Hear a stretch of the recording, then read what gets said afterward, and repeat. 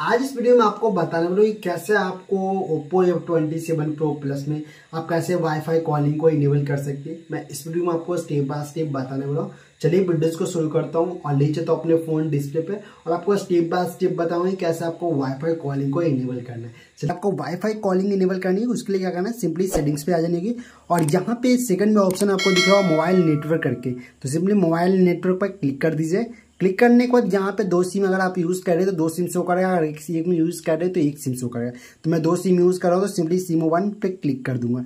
SIM one पे click करने के बाद यहाँ पे एक ऑप्शन आपको दिख रहा है वाईफाई कॉलिंग करके। तो सिंपली वाईफाई कॉलिंग को इनेबल कर दीजिएगा। तो यहाँ से इनेबल करने का वाईफाई कॉलिंग प्रीफेंस तो यहाँ पे क्या करना आपको यहाँ पे वाईफाई कॉलिंग प्रीपेड पे रखने देना उसके बाद आपको डन कर देंगे अब डन करने के बाद यहाँ पे आपको कैसे इनेबल भी करना है, वो भी मैं आपको दिखाता हूँ। तो सिंपली क्या करना है, लाना यहाँ स्टेटस बार में दिखेगा तो सिंपली सेटिंग्स पे आ जाएँगे और यहाँ पे आपको नोटिफिकेशन है ना स्टेटस बार पे क्लिक कर देनी होगी और सिंपली स्टेटस बार पे आ जानी होगी।